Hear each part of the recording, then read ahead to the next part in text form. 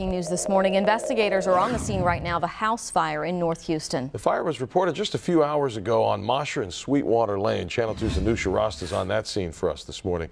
Anusha, uh, do we know uh, about who might have been staying in the home?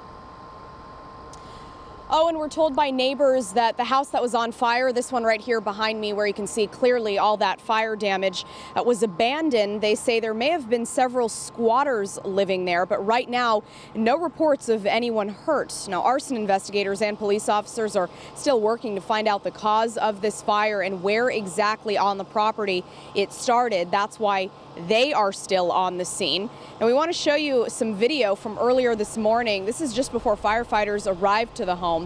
You can see the massive flames there, the intense fire that completely swallowed this house on Mosher and Sweetwater Lane. Our firefighters worked quickly to get the blaze under control. Once they put most of it out, they continued to spray down several small hot spots with water, even spraying down a back and side fence that was burning. A neighbor who says the squatters have been living in the house for some time also says it's been an ongoing problem.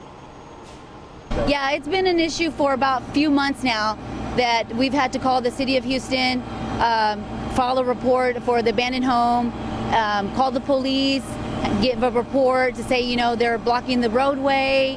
It's been an ongoing matter, especially with the trash that they would leave outside. And back out here live, we're still seeing firefighters spraying the inside and outside frames of the house with water, with water uh, although we don't see any more flames or hot spots right now. The cause of this fire is still uh, under investigation. We will, of course, update you throughout the morning as soon as we get new information. Reporting live in North Houston, Anusha Rosta, KPRC Channel 2 News. Thank you, Anusha.